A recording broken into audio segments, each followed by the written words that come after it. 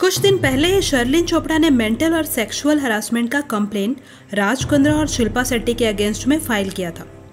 और अब शिल्पा शेट्टी और राज कुंद्रा ने शर्लिन चोपड़ा के अगेंस्ट में 50 करोड़ रुपए का डिफेमेशन केस फ़ाइल किया है। शिल्पा और राज कुंद्रा का कहना है कि जो भी आरोप शर्लिन चोपड़ा ने लगाए थे, सब फॉल्स फेक और बेसलेस है। इसका कोई एविडेंस नहीं है और ये सब पैसे ऐंठने के लिए किया गया है। और शर्लिन चोपड़ा कंट्रोवर्सीज क्रिएट करके मीडिया अटेंशन लेना चाहती है। शर्लिन चोपड़ा पर ऑलरेडी मुंबई पुलिस ने एफआईआर किया हुआ है और कई सेक्शंस भी लगाए हैं। फिर ये सब ड्रामा क्यों?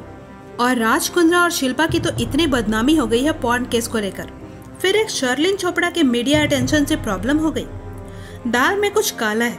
शर्लिन चोपड़ा ने जो किया, वो पैसों के लिए किया।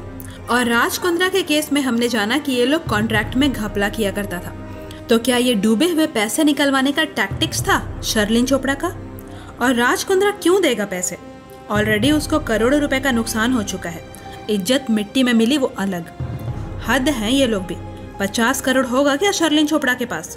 होता तो राज कुंद्रा की कंपनी में पॉर्न एक्ट्रेस का काम करती।